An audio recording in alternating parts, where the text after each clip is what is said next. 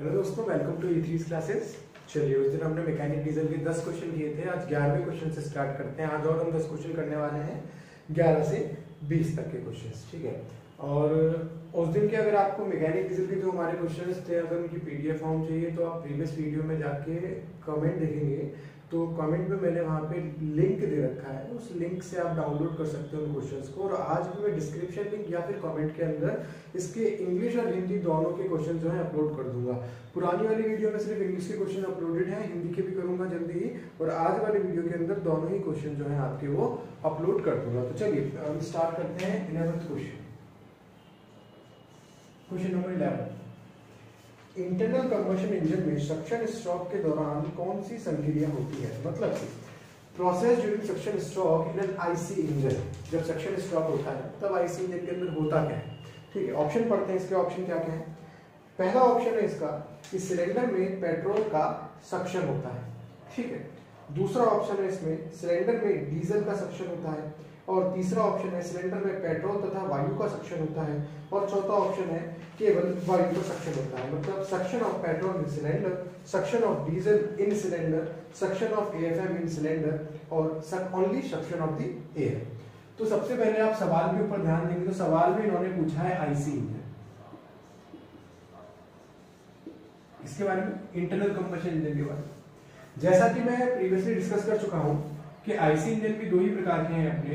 तो spark ignition है compression ignition spark ignition के अंदर हम क्या कर रहे हैं? एक स्पार्क प्लग का यूज़ कर रहे हैं। वहाँ पे हीट एडिशन जो हो रहा है, किससे हो रहा है? स्पार्क प्लग के थ्रू हो रहा है। और कंप्रेशन इग्निशन में हम क्या कर रहे हैं? फ्यूल इंजेक्टर का यूज़ कर रहे हैं। यहाँ पे क्या किया जा रहा है? फ्यूल को इंजेक्ट कराया जा रहा है। ठीक है? तो अब मैं ये चीज़ें बता क्यों रहा हूँ? कि जो आपका ऐसा इंजन है, यानी कि पेट्रोल जो इंजन होता है आपका, वो जब सक्शन स्ट्रोक के अंदर जाता है पेट्रोल इंजन के अंदर जैसे सिलेंडर बना हुआ है और ये इसका एक पिस्टन है ये टीडीसी था और मान लिया यहाँ पे कहीं बॉटम डेड सेंटर था। जब ये अपने सक्शन स्टॉक के अंदर, यानी कि टॉप डेड सेंटर से बॉटम डेड सेंटर के अंदर मूव कर रहा है, नीचे की तरफ़ मूव कर रहा है, जो पार्शियल वैक्यूम क्रिएट हो रहा है तो अंदर आने वाला जो फ्यूल है, वो होता क्या है? अंदर आने वाली चीज़ क्या है? एएफएम एयर फ्यूल मिक्सचर और ये आपको कैसे पता पड़ेगा? आपको हमेशा इस चीज़ का ध्यान रहना चाहिए। और आपने देखा भी होगा कि जो आपके ऐसा इंजन होते हैं, उसके अंदर क्या लगा के रखते हैं? हमें कार्बोरेटर कार्बोरेटर का काम ही क्या होता है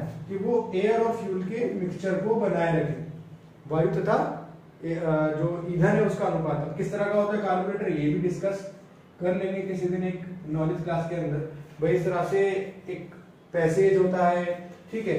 वेंचुरी बोला जाता है, जिसको, ठीक है, एक मीटरिंग गेज होगा, इधर एक फ्लोट वॉल लगा हुआ होगा निडल वॉल लगा हुआ होगा, ठीक है तो एक फ्लोट चैम्बर होगा और निडल वॉल लगा हुआ होगा। तो इस तरह से पूरी एक संरचना होती है और कितना दूर होता है, अगर एक बहुत अच्छा बेसिक सवाल है जो आपको अभी कहीं पर भी देखने के लिए नहीं मिलेगा, कि जो कार्बोरेटर है, ये कार्बोरेटर इस वॉल्व से कितनी दूरी पर होता है? सिक्स एम कितनी? Six M M six M की दूरी पे बेसिकली इसको रखा जाता है। ज़्यादा दूर भी नहीं होता। तो ऐसा ही इंजन के अंदर अगर आप देख रहे हो तो एयर फ्यूल मिक्सचर आ रहा है। और यदि मैं बात करता हूँ कंप्रेशन इग्निशन इंजन यानी कि डीजल इंजन के अंदर तो वहाँ पर जब सक्शन पोर्ट आपका ओपन हो रहा है सक्शन वॉल्व आपका ओपन हो रहा है तो सिर्फ़ एक ही चीज़ आ रही है। इसका नाम है एयर डीजल नहीं। डीजल को तो आप क्या करोगे? बाद में फ्यूल इंजेक्टर के थ्रू इंजेक्ट करवाओगे स्प्रे करवाओगे। जैसे इंजेक्शन के अंदर होता है ना, जो सीरेंज होती है, उसी तरह से स्प्रे करवाना है वहाँ पे। ठीक है? और यहाँ पर क्या आ रही है? एयर तो आपको जो ऑप्शन दिखाई देगा सी और डी दोनों ही ऑप्शन यहाँ पे सही है। क्योंकि यहाँ पर उन्होंने सिर्फ़ आईसी इंजन कहा है स्पेसिफाई नहीं किया कि ये सीआई है या ऐसा ही। अगर ये स्पेसिफाई कर देते, तब तो मैं सी या डी दोनों में से किसी एक ऑप्शन पे चला जाता। ठीक है? अच्छा ए और बी गलत क्यों है? ए और बी इसलिए गलत है पहला ऑप्शन बोल रहा है कि पेट्रोल का ही सेक्शन हो रहा है तो ऐसा किसी भी इंजन के अंदर नहीं होता कि केवल पेट्रोल को सक कर लिया हमने अंदर। और ना ही किसी इंजन के अंदर, ये तो कभी होता ही नहीं है कि सिर्फ़ डीजल को सक कर लिया जाए ये तो होगा ही नहीं कभी। ठीक है ना बच्चों? तो ये बात है यहाँ पे तो इस क्वेश्चन के अंदर आप चाहें तो स्टार मार्क कर सकते हैं और स्टार मार्क करके लिख सकते हो both C and D are correct और नहीं तो आप क्या करें, इस क्वेश्चन को चेंज कर दीजिए अपने अकॉर्डिंगली कि आईसी इंजन की जगह आप क्या कर दीजिए यहाँ पे? इसको सीआई इंजन कर दीजिए। भाई तो अंडरस्टूड है कि CI engine is a type of IC engine तो आपको परेशानी नहीं आएगी। अथवा ऐसा इंजन कर दीजिए तो भी आपको परेशानी नहीं आने वाली। अगर आप ऐसा इंजन कर देते हैं, आंसर हो जाता है सी सी इंजन कर देते हैं, आंसर हो जाता है डी ठीक है बच्चों? और अगर कुछ भी नहीं करते तो स्टार लगा के वो C and D correct exam के अंदर जब क्वेश्चन आएगा, ऐसी गलती नहीं करेंगे वो लोग कि वो डायरेक्ट आईसी इंजन के अंदर ही पूछ ले. वो ऐसा ही या सी आई दोनों को क्लैरिफाई करके ही पूछेंगे आपसे. ठीक है? तो ये था आपका इलेवंथ क्वेश्चन इसका आंसर क्या आ गया? सी एंड डी बोथ अब बात करेंगे हम twelfth question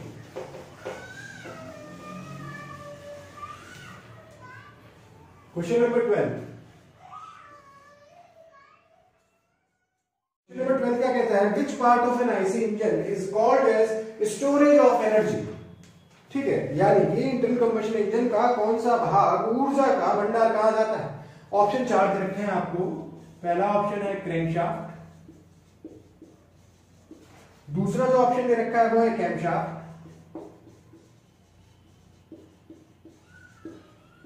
तीसरा ऑप्शन है आपका यहाँ पर वाइब्रेशन डैम्पर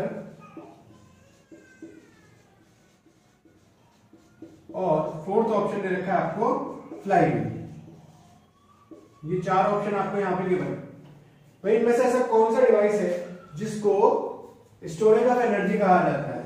जो एनर्जी को स्टोर करता ऊर्जा का भंडारण।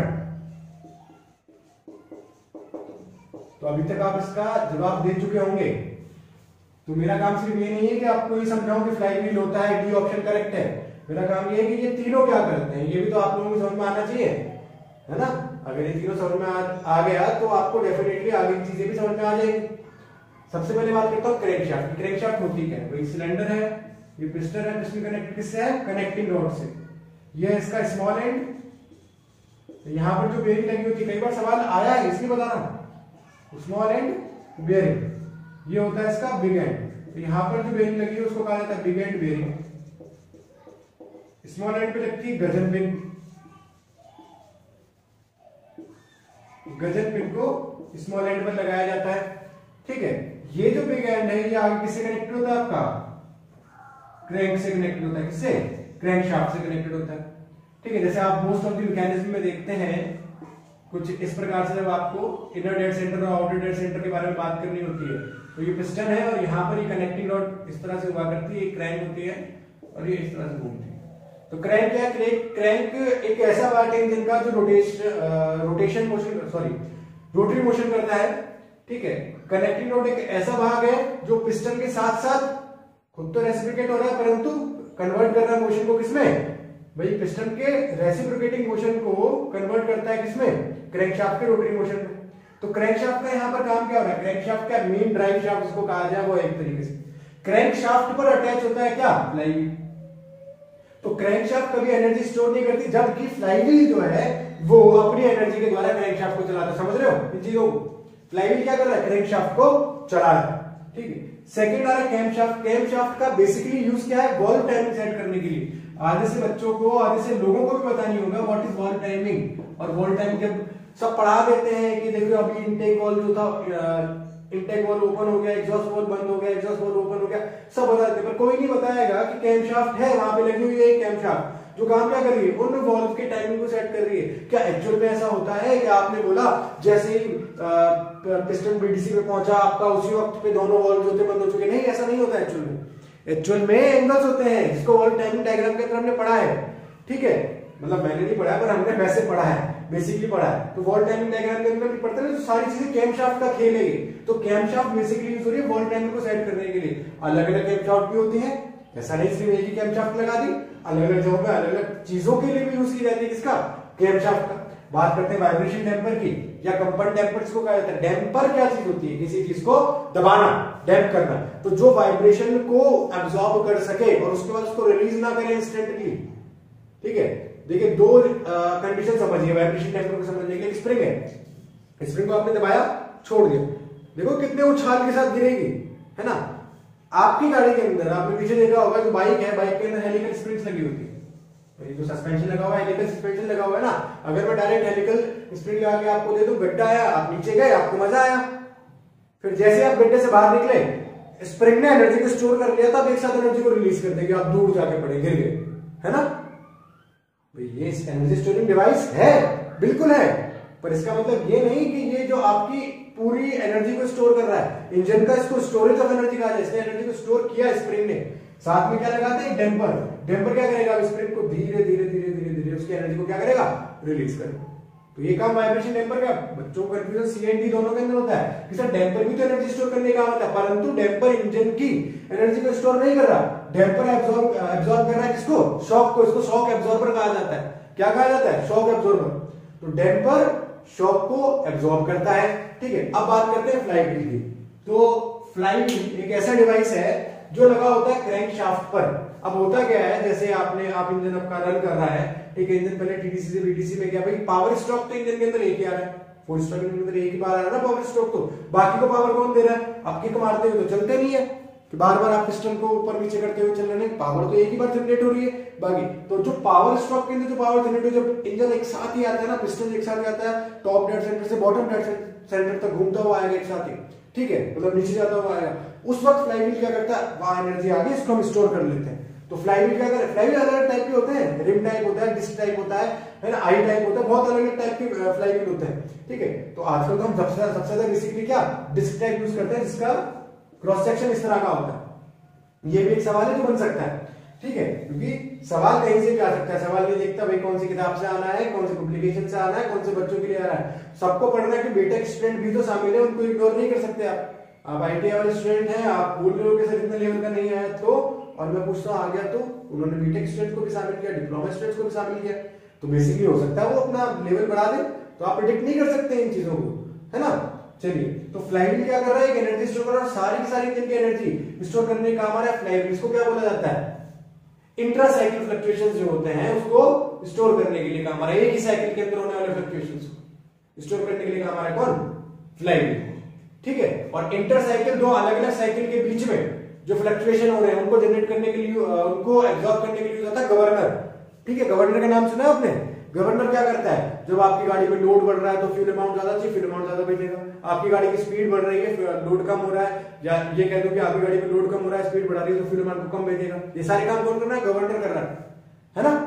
तो ये चीज़ तो फ्लाईव्हील इंटर साइकिल एक ही साइकिल के अंदर होने वाले फ्लक्चुएशन और इंट्रा साइकिल के अंदर सॉरी इंट्रा साइकिल यानी एक ही साइकिल के अंदर होने वाले फ्लक्चुएशंस और इंटर साइकिल मतलब अलग अलग साइकिल के अंदर होने वाले फ्लक्चुएशंस के लिए गवर्नर, इसके लिए तो बारह सवाल ये था, इसका आंसर फ्लाईव्हील है तो मैंने आप, मैं चाहता एक लाइन बता सकता था आपको फ्लाईव्हील आंसर होगा, पर मैंने ये भी बताया, ये तीनों आंसर क्यों नहीं है?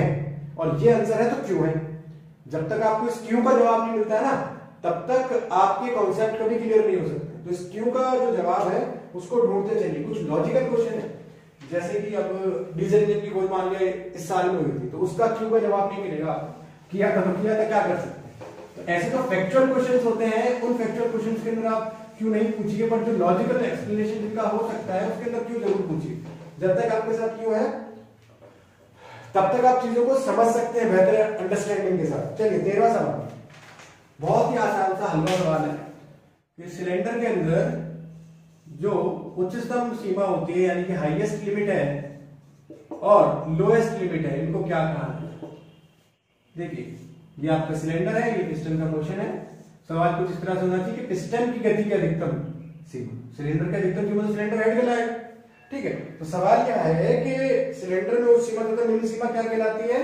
तो एक्चुअली में क्वेश्चन ये है कि सिलेंडर में पिस्टन की गति की उच्च सीमा और पिस्टन की गति की निम्न सीमा क्या कहलाती है? उच्च सीमा को कहा जाता है टॉप डेड सेंटर बॉटम जो नीचे वाली सीमा होती है निम्न सीमा को कहा जाता है bottom dead centre that is TDC and BDC dead centre क्यों कहा गया? पिस्टन यहाँ पर जाकर रुकता है, अपने मोशन को क्या कर लेता है? डेड कर लेता है।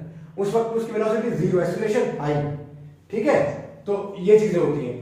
तो ऐसी कंडीशन के अंदर टॉप डेड सेंटर यानी कि जहाँ पे मोशन डेड होता है that's what is called as what dead centre okay तो टॉप एंड बॉटम समझ में आ गया आप लोगों को? तो इसका आंसर क्या होगा? ऑप्शन देख सकते हैं आप। Option A NDC CDC option B है पीडीसी केडीसी ऑप्शन सी है टीडीसी एंड पीडीसी तो ऑप्शन सी करेक्ट आंसर तेरहवा सवाल, बहुत लंबा सवाल था। चलिए चौदह सवाल में चलेंगे।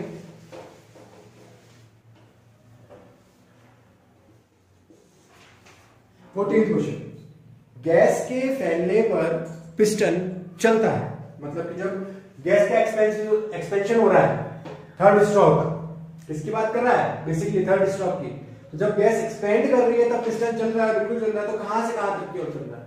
देखिए थर्ड स्ट्रोक होता का सेकंड स्ट्रोक के अंदर कंप्रेशन स्ट्रोक था पिस्टन ऊपर आ चुका है। ठीक है, यहाँ पे एफएम था, या फिर एयर थी और ऊपर से फ्यूल इंजेक्शन कर रहा था कोई दिक्कत नहीं, कुछ भी बोलो। ठीक है, मैं एएफएम की बात कर रहा हूँ एयर मिक्सचर की। एयर मिक्सचर था स्पार्क आया स्पार्क ने क्या करी? एक हल्की सी चिंगारी उत्पन्न करी। और जब चिंगारी भड़की तो उसमें क्या लग गया? आग लग गई। और चिंगारी के भड़कने से क्या होगा? एक तुरंत एक ब्लास्ट हुआ, जिसको फायरिंग कहा जाता है। ब्लास्ट हुआ, और ब्लास्ट होने की वजह से गैसेज जो है वो एक्सपेंड करना स्टार्ट करेगी और पिस्टन अपनी उच्चतम सीमा से निम्नतम सीमा की तरफ़ गति करने लगेगा। दैट मीन पिस्टन टीडीसी से बीडीसी की तरफ़ क्या करेगा? मोशन करेगा। ठीक है? तो पिस्टन ने टॉप डेड सेंटर से बॉटम डेड सेंटर की तरफ़ मोशन की। तो ऑप्शन ए है टीडीसी से बीडीसी की ओर ऑप्शन बी है बीडीसी से टीडीसी की ओर ऑप्शन सी है नीचे की ओर ऑप्शन डी है बी और सी दोनों। तो नीचे की ओर वाला ऑप्शन भी सही है और ये ऑप्शन भी सही। है ठीक है? पर हम नीचे की ओर को स्पेसिफाई डायरेक्टली कर रहे नीचे की ओर कहाँ सिलेंडर में है नहीं तो ऐसे बेकार से जो एक्सक्यूज होती हैं, इस वजह से ए आंसर इसका करेक्ट है, वरना सी ऑप्शन यहाँ पे हो नहीं नीचे तो ए ऑप्शन इसका करेक्ट है। पिस्टन टॉप डेड सेंटर से बॉटम डेड सेंटर की तरफ़ ही मोशन करेगा। ठीक है? चलिए तो चौदह सवाल था आपका। पंद्रह सवाल देखते हैं। सिलेंडर में पिस्टन की गति करने के अधिकतम उच्च पॉइंट को क्या कहते हैं? वही सवाल घुमा घुमा के बार बार पूछा है। ठीक है? और ऐसा होता है।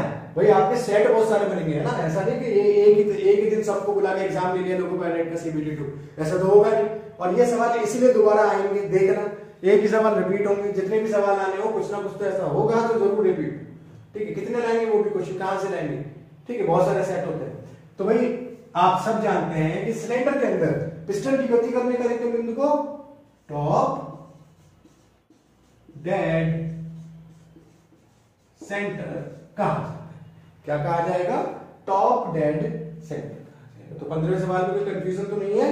ऑप्शन हो गया जो टीडीसी बीडीसी स्टॉक और टिकट में से कोई नहीं तो ए ऑप्शन इसका करेक्ट है। पंद्रहवें सवाल का आंसर क्या हो गया? ए इसका करेक्ट है।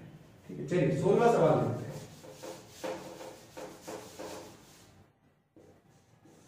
Question number sixteen. Auto cycle में कंबशन होता है? अच्छा सवाल।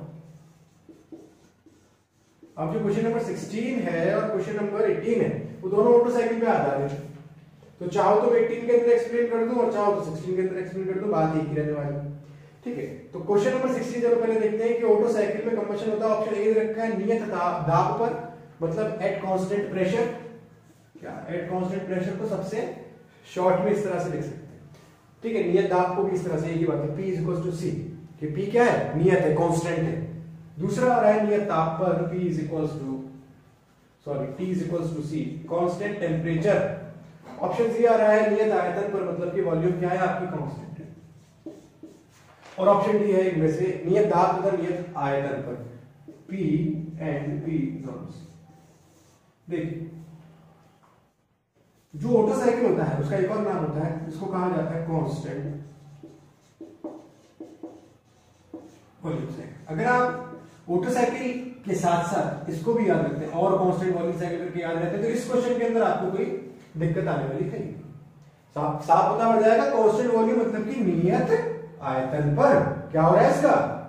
मोटरसाइकिल जो है कंबशन हो रहा है है ना? नियत आयतन पर उसका किया जाता है। ठीक है, अब बात करते हैं नियत प्रेशर यानी कि कांस्टेंट प्रेशर पर किसका किया जाता है? ये होता है आपका डीजल साइकिल और इन सब के बाद जो आया डीजल के लिए, वो आया आपका डुअल कंबशन से डुअल कंबशन साइकिल जहाँ पर कांस्टेंट प्रेशर और कांस्टेंट वॉल्यूम दोनों पर क्या किया जाता है? कंबशन किया जाता है। तो इस तरह के सवाल आ सकते हैं। तो ऑटो साइकिल को कांस्टेंट वॉल्यूम साइकिल नाम से पुकारा जाता है। वहाँ पे कंबशन जो होता है होता है? कांस्टेंट वॉल्यूम पर होता है। तो आपका ऑप्शन क्रमांक सी एकदम करेक्ट ऑप्शन ठीक है? चलिए, ये हो गया सोलवा सवाल। अब बात करेंगे सत्रहवें सवाल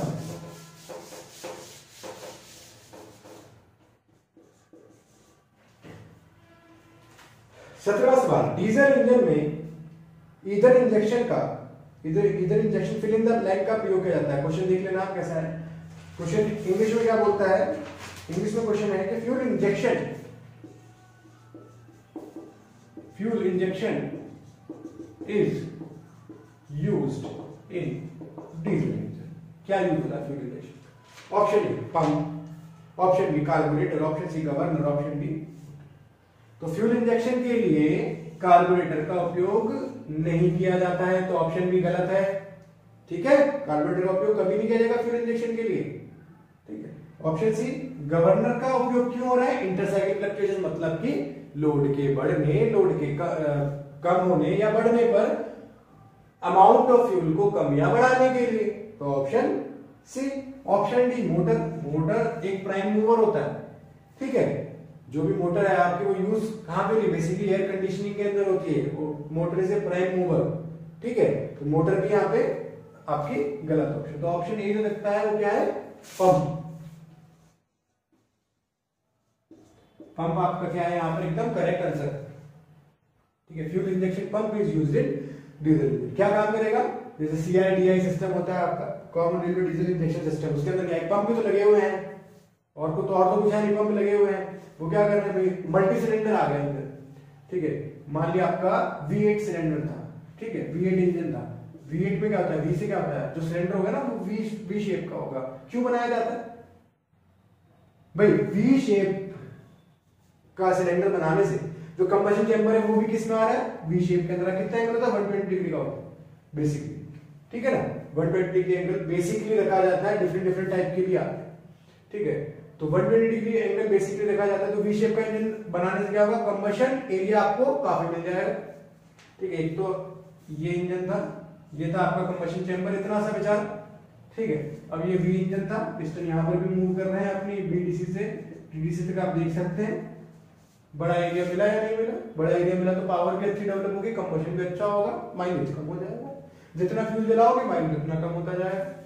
ठीक है तो फ्यूल इंजेक्शन का जो यूज़ हो रहा है हाँ मैं कहा था मल्टी सिलेंडर इंजन पे था तो यहाँ पे फ्यूल इंजेक्टर लगे हुए हैं तो इसके लिए पंप का यूज़ किया जाता है, जो यहाँ पर फ्यूल इंजेक्शन फ्यूल को पहुँचा सके।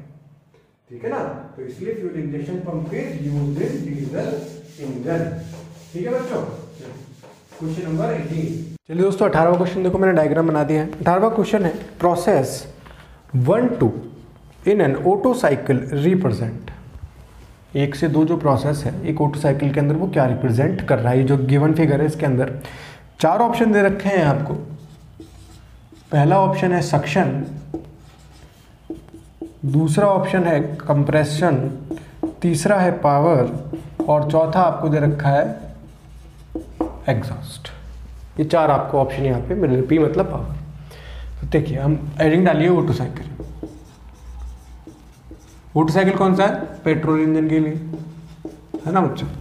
अब पेट्रोल इंजन के लिए हम किसका यूज़ कर रहे हैं? ऑटो साइकिल का यूज़ कर रहे हैं। ये बात अपनी यहाँ तक क्लियर हुई। इसके अंदर जो चार प्रोसेस होते हैं, वो कौन कौन से होते हैं? एक से दो जो प्रोसेस होता है, इसको यहाँ पर क्या कहा जाता है? इसको कहा जाता है एडियाबैटिक कंप्रेशन प्रोसेस क्या कहा जाएगा? रुदोष में। एडियाबैटिक मतलब क्या है? रुदोष में। कंप्रेशन प्रोसेस इसका मतलब बिल्कुल रुदोष कंप्रेशन का मतलब क्या है? संपीड़न। ठीक है, अब जो प्रोसेस है आपका, दो से तीन तीन से चार और चार से एक। यहाँ पे अपन साइकिल एक से स्टार्ट कर रहे हैं ना, उसकी बात कर रहे हैं। अगर यहाँ पर नंबरिंग चेंज हो जाए तो भी परेशान होने वाली बात नहीं है। अगर ये मैं इसको एक नाम दे दूँ, इसको दो नाम दे दूँ, इसको तीन नाम दे दूँ, इसको चार नाम दे दूँ तो भी परेशान होने वाली कोई बात नहीं। एक और बात ध्यान रखना कि ये थियोरिटिकल साइकिल है एक्चुअल साइकिल नहीं है एक्चुअल साइकिल थोड़ा सा अलग होता है। ठीक है एक्चुअल साइकिल थोड़ा सा अलग है। दो से तीन जो आपका प्रोसेस चल रहा है, वो आपको दिखाई देगा कैसा है। भाई, यहाँ पर प्रेशर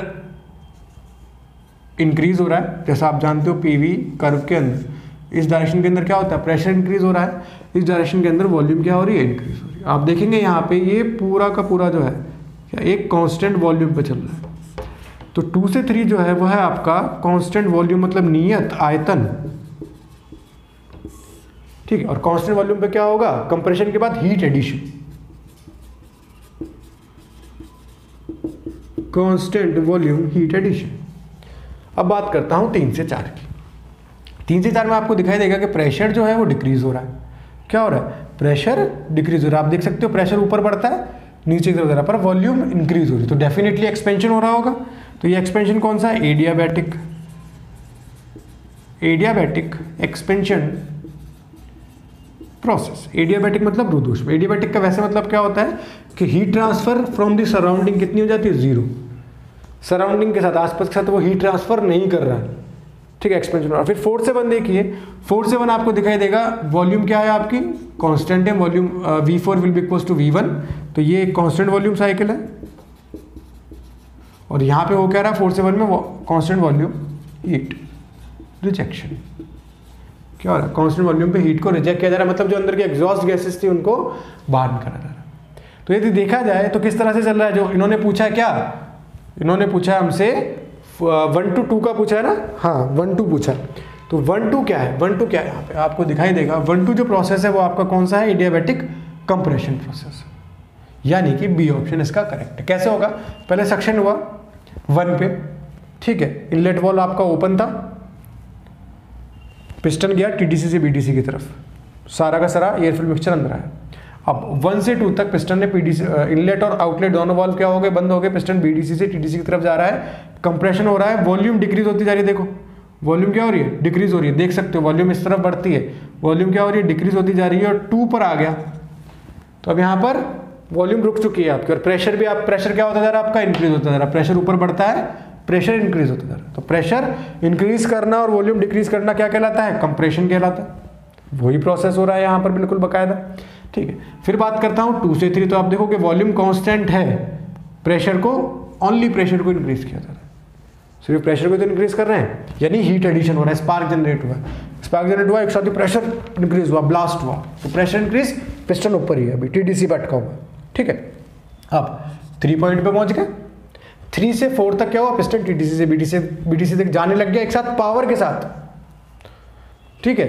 तो गैसेस ने एक्सपेंड करना स्टार्ट कर दिया। जैसे ही गैसेस ने एक्सपेंड करना स्टार्ट किया तो गैसेस का प्रेशर कम हुआ और वॉल्यूम बढ़ गई। देखो वॉल्यूम बढ़ रही है इस डायरेक्शन में बढ़ती है वॉल्यूम बढ़ रही है। बढ़ रही है बिल्कुल बकायदे वॉल्यूम ठीक है?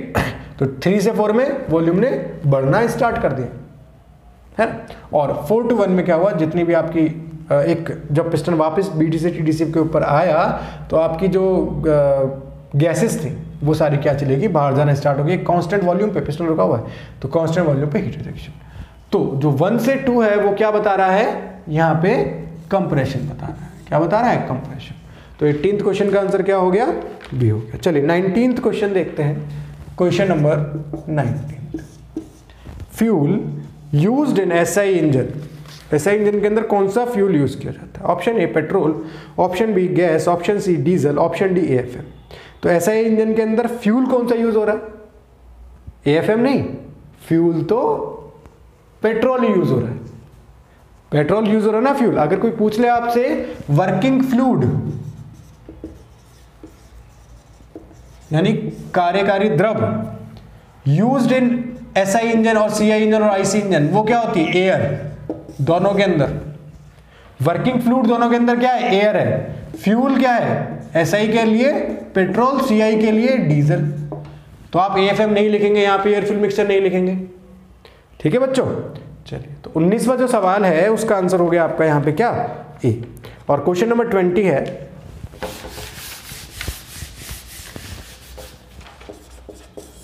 क्वेश्चन नंबर ट्वेंटी के अंदर इस तरह से आपको एक पहले ही स्पेस मिल जाएगा खालिस्तान।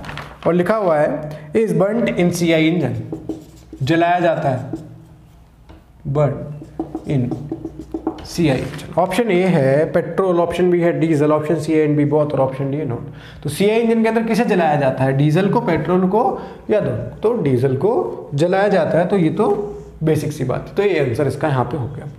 ठीक है दोस्तों तो आज हमने 10 क्वेश्चन और किए। टोटल हमारे 20 क्वेश्चन हो चुके हैं। और मेरे पास जैसे क्वेश्चन आएँगे, मैं और करवाता रहूँगा। ठीक है तो मैकेनिक डीजल के ये कुछ क्वेश्चन थे। बच्चों की डिमांड आ रही है फिटर के लिए और आर के लिए तो बहुत जल्दी फिटर और आर के भी जो चैप्टर हैं, वो पढ़ाए जाएँगे। फिटर के लिए जो डिमांड आ रही है, वो किसकी आ रही है? लुब्रिकेशन और कूलिंग सिस्टम वाली की। तो वो भी मैं बहुत जल्दी उसको भी करवाया जाएगा। और जैसे जैसे क्वेश्चन और मटीरियल्स आते रहेंगे, यहाँ पर मैं आप लोगों के लिए वीडियोज़ जो है, वो बनाता रहूँगा दोस्तों। ठीक है, चलिए। थैंक यू सो मच आज के लेक्चर के लिए और लाइक करना सब्सक्राइब करना और शेयर करना।